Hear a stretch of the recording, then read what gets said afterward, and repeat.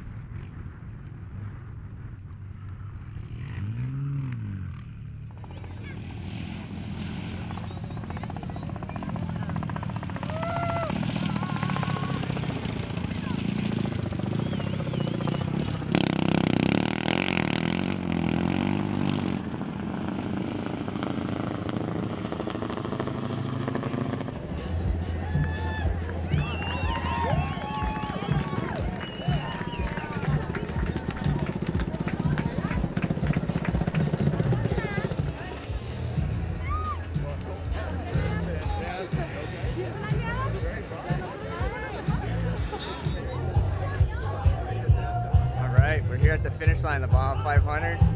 Finished second place for first test out on the new KTM 690 Baja, and not so bad for a first time and having just a couple days testing. And everything, everything went good. We had a few problems, but we made it here to the end, and you know, it's all about finishing. You got to finish to do well. So we'll just be ready and try to get ready for the thousand.